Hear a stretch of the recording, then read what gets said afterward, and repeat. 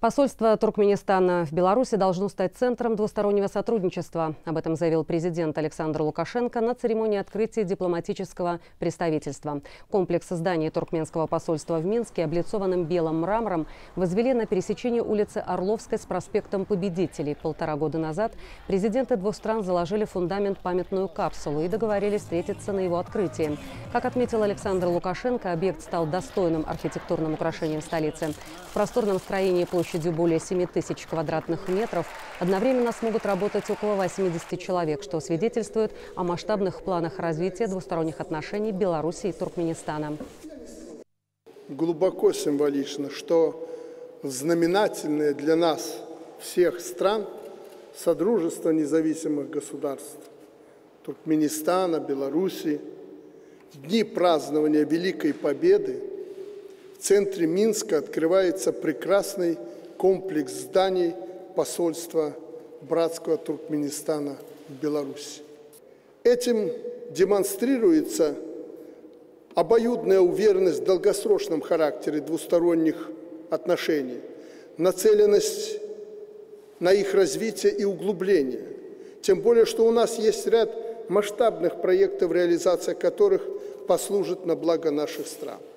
Я не скрою, э, всегда в бизнесе, в планировании некоторых, особенно крупных объектов, которые мы строим э, по договоренности в Туркменистане, есть всегда проблемы, иногда тяжелые вопросы, но не было тех проблем и вопросов, которые бы мы не могли решить.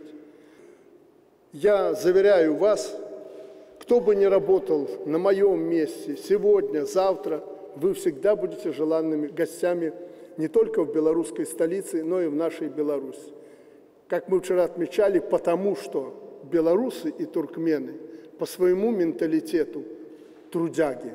И этим они очень похожи. Мы уходим также на э, уже масштабные совместные э, проекты, то есть и широкую производственную кооперацию, то есть динамично развиваются партнерские связи между нашими э, бизнес-сообществами, двух стран, и по этой линии проводятся регулярные деловые форумы. Работа посольства Туркменистана в Минске э, призвана соответствовать именно высокому уровню отношений между двумя э, государствами. Глава государств также ознакомились с условиями работы дипредставительства, осмотрели экспозицию музея, которая представляет культуру и традиции Туркменистана. А кроме того, побывали в жилом блоке рядом с посольством, где размещены квартиры его сотрудников.